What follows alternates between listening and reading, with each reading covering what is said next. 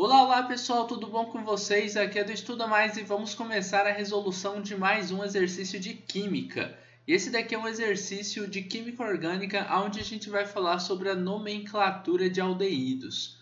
Faça as estruturas dos aldeídos abaixo de acordo com seus nomes. Então temos aqui na letra A o etanal e na letra B temos o fenilbutanodial. Então olha só, Uh, os dois casos aqui são casos de aldeídos. Aldeídos são aquelas funções onde eu tenho esse grupo carbonila, carbono fazendo uma dupla ligação com oxigênio, e esse carbono tem que estar ligado a um átomo de hidrogênio. E aqui a gente vai ter o resto de uma estrutura carbônica, né? A gente pode ter outro carbono aqui, outro carbono aqui e assim por diante. Mas esse pedaço aqui da molécula, ele mostra pra gente que a gente tem uma função aldeído, tá bom? Aldeído aldeído.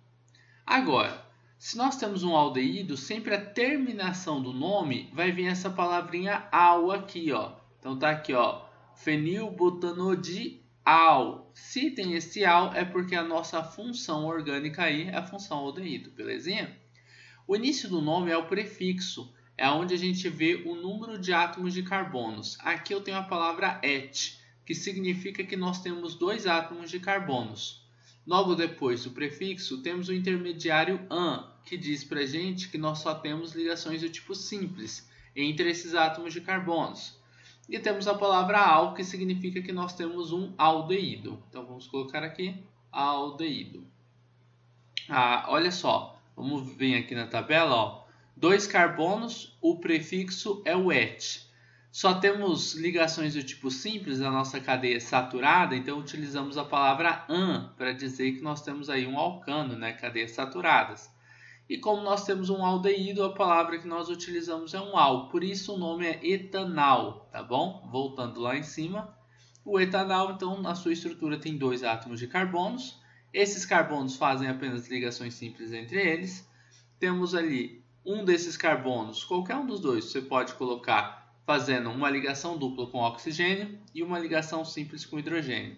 O outro carbono, faltam, quatro, faltam três ligações, você vai completar essas ligações colocando três átomos de hidrogênio, beleza? Então, basicamente é isso daqui. Essa é a estrutura que nós temos para o etanol. Vamos agora para a segunda estrutura. Esse grupo fenil aqui ó, é uma ramificação quando nós temos o benzeno como sendo ramificação.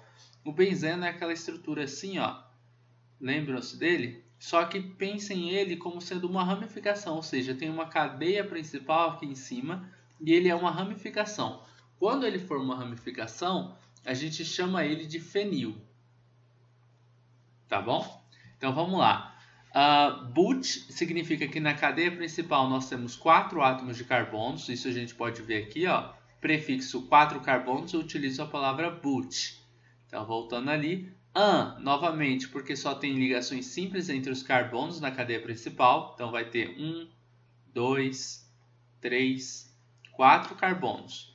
E aí, an, eu já coloquei as ligações simples. Aí vem o dial, né? Esse di significa o seguinte, que nós temos duas vezes o grupo aldeído, tá? Duas vezes. Então, a gente vai fazer assim. Se eu tenho dois grupos aldeídos, um tem que estar em uma ponta e o outro tem que estar na outra ponta. Porque o aldeído sempre está na ponta de cadeia. Não tem como um átomo de carbono estar tá ligado a um hidrogênio e esse hidrogênio está no meio de uma cadeia. Por quê? Porque o hidrogênio não faz duas ligações químicas, tá? Então sempre tem que estar nas pontas.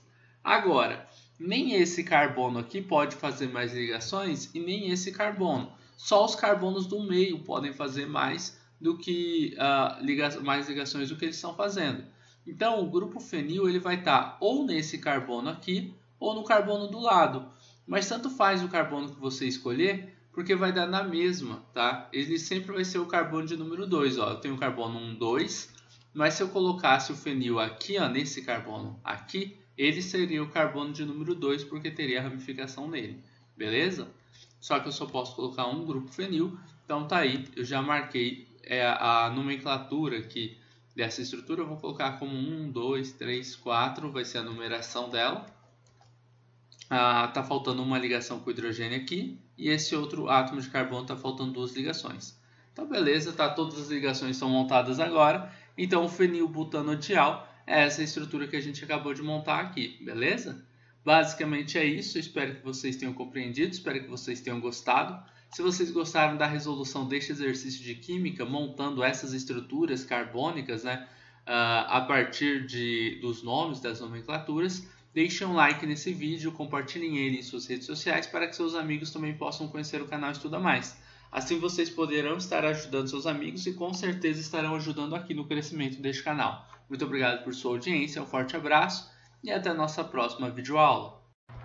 Você gosta das aulas do Estuda Mais e quer ter aulas particulares de Química online comigo? Então envie um WhatsApp para o número que está na descrição desse vídeo.